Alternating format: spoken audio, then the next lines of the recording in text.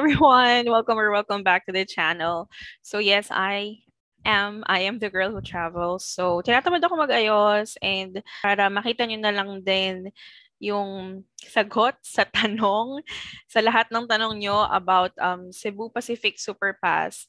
Um, gumawa na lang ako ng video kasi mas madali siya kasi isahin ko, isa-isahin ko yung comments nyo kasi kadalasan yung mga tanong na sagot ko naman na before pero siguro hindi na lang nabasa or hindi na lang nadaanan ng mata nila And madami din nag-message sa akin pero kasi um, I don't have the time para sagutin lahat. Isa-isa ng messages na pare-pareho naman. So, ipapakita ko na lang din sa inyo kung paano siya gawin online. So, here, mag-screen share ako.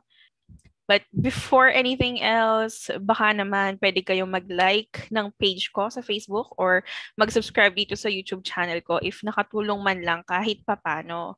So here, mag-screen share ako sa inyo from the start.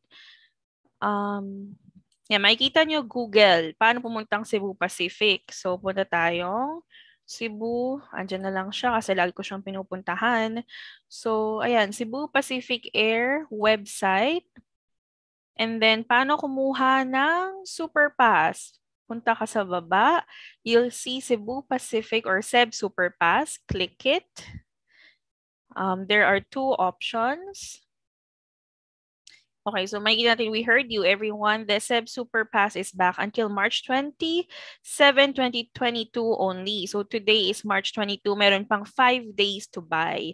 Disclaimer, I am not an affiliate of Cebu Pacific. I don't earn anything from them and I have never been trained to be a customer service and to answer all of your questions.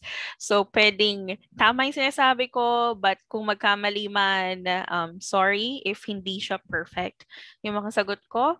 So, ano nga ba ang Cebu, Cebu ano nga ba ang SEB Superpass? So it is valid only for Philippine flights. So within the Philippines only. Um, mabibili siya hanggang March 27 pero ang travel period is from March 28 to April 30, 2023. So it says 99 pesos base fare. Okay, other taxes like VAT and WAF are not yet included. So ang matitipid nyo pag bumili kayo ng Cebu o ng Ceb Superpass is yung base fare. So para siyang piso fare pero instead para kasing wala ng piso fare ngayon. So parang 99 pesos yung base fare niya pero babayaran pa rin natin yung other fees like fuel surcharge, things like that. Kaya hindi zero yung babayaran natin kahit meron tayong SEB Superpass. Okay, so may dalawang options dito, buy Superpass or redeem SEB Superpass. So kung meron na kayo, redeem kayo. So click nyo dito, ilan yung bibilhin nyo. Let's say gusto mo for dalawa, mag-asawa kayo, kadalasan ganun, couple. So click buy valid for travel from 2022 to 2023. This voucher is exclusive for. So, ayan, lagay nyo lang yung first name and last name nyo. Super dali. Um, pwede kayong bumili ng para sa ibang tao. Pwede nyo itong ipang regalo. Um, Mag-fall siya into one booking reference number. And yung, ayoko na ipakita yung details namin eh. Pero, um, yung binook ko sa family ko for um, tigitig isa. And uh, nasa iisang under nasa iisang booking reference number lang siya. For example, dito. Pupuntahang pupuntahang redeem Cebu Superpass. And then, lalagay mo dito yung reference number and surname ng kahit isang guest lang. Tapos, under one reference number, lalabas na yung iba't parang apat na different um, voucher number and then merong parang checkbox na pipiliin mo alin doon yung pipiliin alin doon yung gagamitin mo to book a flight so hindi porket nasa iisang booking reference number siya is kailangan mo gamitin lahat. Pwedeng isa lang muna ang gamitin mo kung isa lang naman yung magka-travel. Um, what else? What are the other questions? So, nilista ko dito yan eh. Nasagot ko na what is Seb Superpass. Magkano siya? It is 390 pesos for one voucher. One voucher can be used for one way per person. One way one person. So let's say gusto mong gamitin round trip. Gusto mong gamitin round trip, you have to buy two vouchers para doon. And when can you redeem the Cebu Superpass? Um, kasi mahirapan ako mag-edit. Pagka nilagay ko pa yung reference number namin dito, kailangan ko siyang i-blur. And gusto ko to mai-upload within at this hour. So, sorry, hindi ko na lang siya ipapakita. Okay, so let's say kahapon nagtry ako mag-book which is April 20 uh, March 21st. Yung pinapakita sa aking dates is hanggang April 20th lang kasi um, pwede mo lang siya ma-redeem, pwede mo lang magamit yung Cebu yung Seb Superpass within 30 days. Parang 7 to 30 days ng flight mo.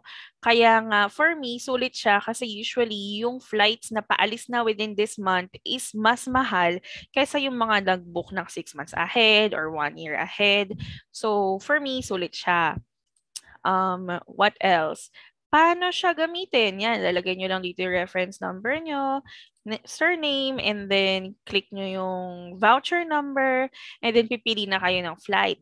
Araw-araw ba merong SEB Superpass na flight? I checked yesterday and merong mga flights or merong mga araw na walang nakalagay na SEB Superpass, which means hindi mo siya magagamit. So you have to find a date na merong SEB Superpass. Pero sobrang dami din namang dates na meron.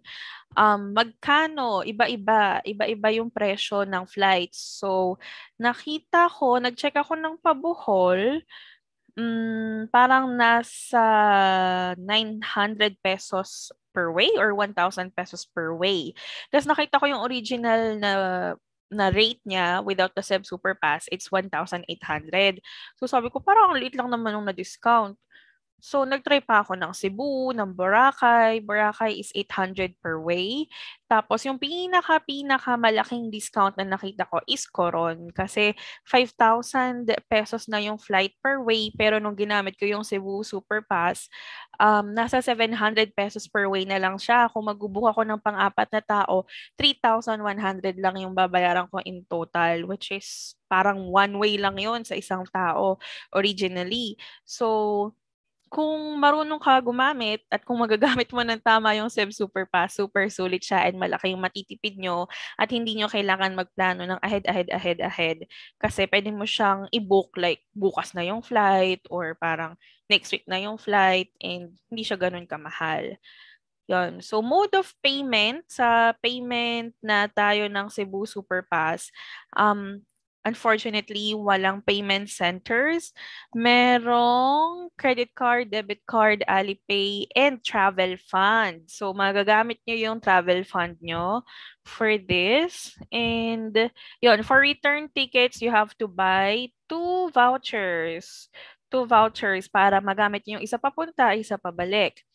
And how much should I pay for my flights? Ayan, na-cover na natin kanina. Iba yung presyo ng flights. Hindi porket si may SEB Superpass kayo, zero na. Wala na kayong babayaran, 390 pesos na lang. So, kung iisipin nyo, let's say 760 yung flight pa koron na nakita ko. So, 768. Tapos kung iisipin mo, bumili ka ng SEB Superpass na gagamitin mo for the flight, so gagastos ka rin ng 1,100 for that flight.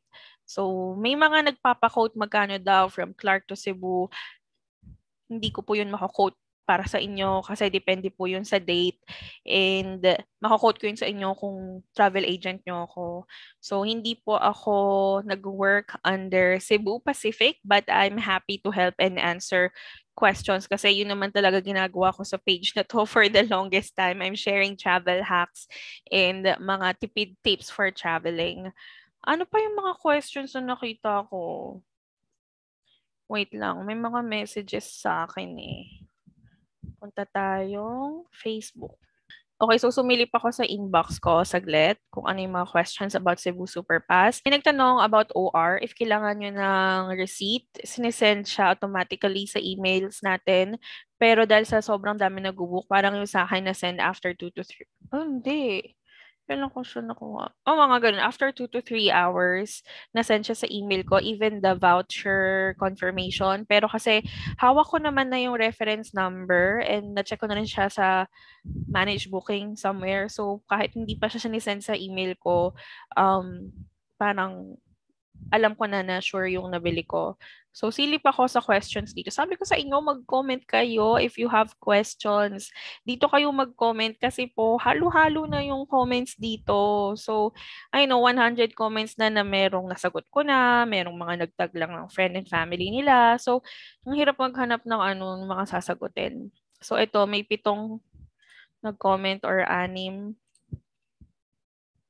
Ayan, yung mode of payment daw is wala siya kasi nga walang ano, walang payment partners. Ano lang, debit, credit card, travel fund, and Alipay. Walang GCash, walang ganon. Would it really make a difference pag naka-Superpass compared to if naka-Piso Fare? Um, yung Superpass, I'd say na ano ba?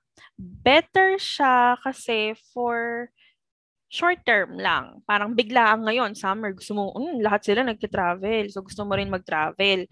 Pero, sobrang mahal na ng flights ngayon kung mag-book kayo ng for April or May kasi nga peak season siya. So, yun yung difference. Piece of fare is you have to book like very early, six months ahead, three months ahead before the flight, kaya siya mura.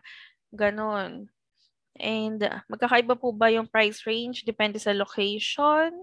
Yes, magkakaiba. And as I said, hindi ko mako-quote kung magkano yung flight.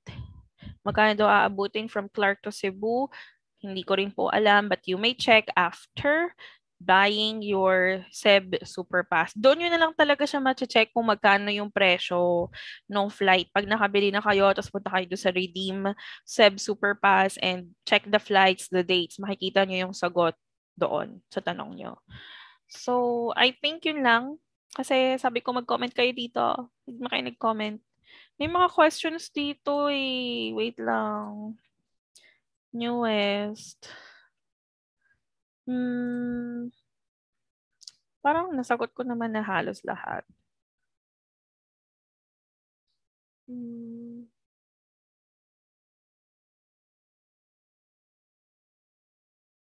Matic na ba na yung flight mo is 390 lang? Hindi po.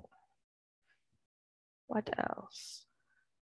So, ayan. I think I'll end this video na parang I just wanted to answer your questions about Seb Superpass kasi ako rin nga naman yung namalita na meron. So, I hope nakabook kayo and I hope makabook kayo ng munang flights and happy traveling! Promote ko na lang din Weekend Wire Travel and Tours. Promote ko lang before I end the video, Weekend Wire Travel and Tours if you need to book to El Nido or to Bohol. So, yun yung two active packages right now. So, check nyo lang. Here yung El Nido package and a lot more. So, that's it. Bye-bye!